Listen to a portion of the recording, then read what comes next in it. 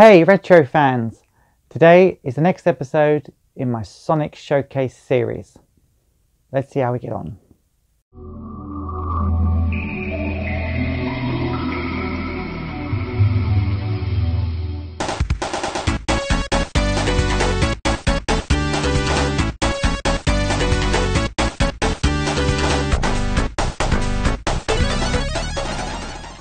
Hi, welcome to the show and the next episode in my Sonic Showcase series.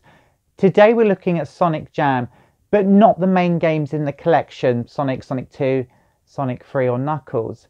We're looking at the nice little feature of Sonic Jam called Sonic World, which is a bit of a mix up, a big mixed bag of different things here and there. Going to be looking at what it meant for Sega, what it meant for me personally as a huge Sonic fan, what could have been. But before we do any of that, let's take a look at some of the game footage and find out exactly what Sonic World was. Sonic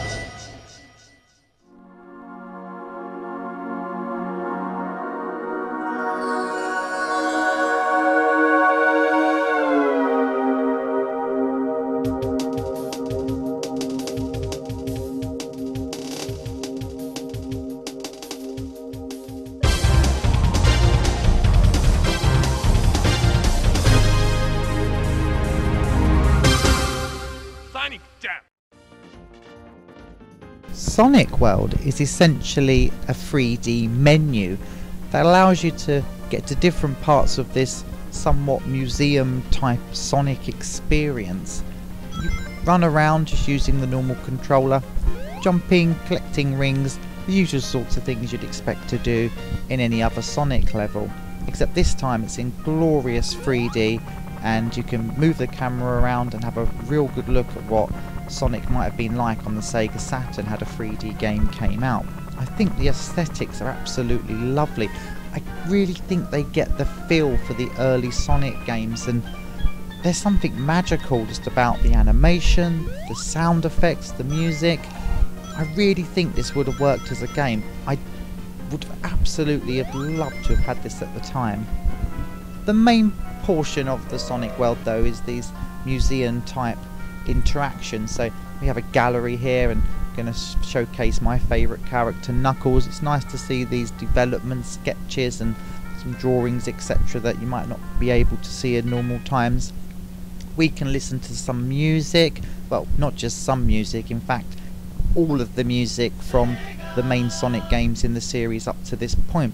I remember spending hours on this as a kid. I absolutely loved my Sonic music, and when my hands were hurting because I'd played too much Sonic, I could always just pop into the music room here and just listen to my favourite tunes, of which there are many, of course. There's also some great videos in the Sonic world.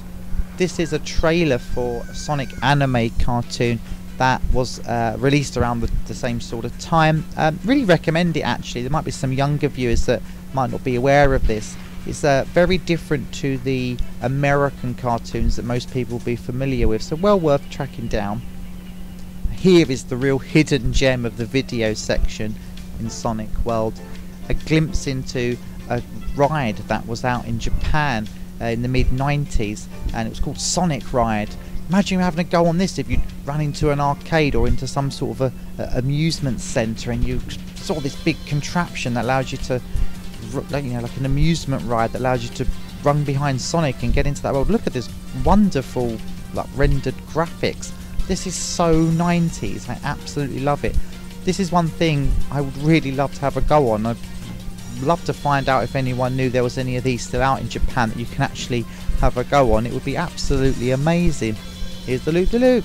Way. The main feature of Sonic World, though, um, is definitely these missions that you have. They're not really that in depth, to be honest, and they're quite easy to complete once you get through them. And this is an example of one we have to hit the three star posts in a set time limit, and um, once you do that, you run back to the to the start of the level there to, to complete the mission. So they're not they're not in depth, but it adds a little bit of fun and it actually gets to show you what it might have been like had this game actually been you know fully formed.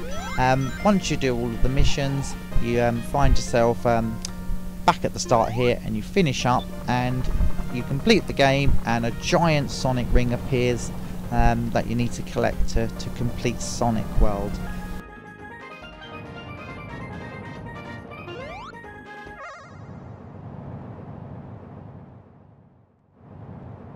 So that was a quick whistle stop tour of Sonic World uh, within Sonic Jam.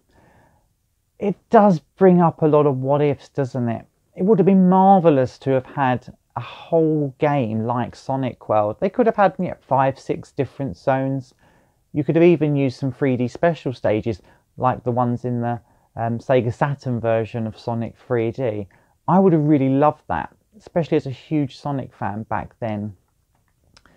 But I think we have to be realistic. By the time Sonic Jam actually got released, Sega were pretty much well into the development of the Dreamcast, and we all know that Sonic Adventure came out on that as one of the first games. So I don't think we can feel too bad about not getting a full, proper 3D Sonic game on the Sega Saturn.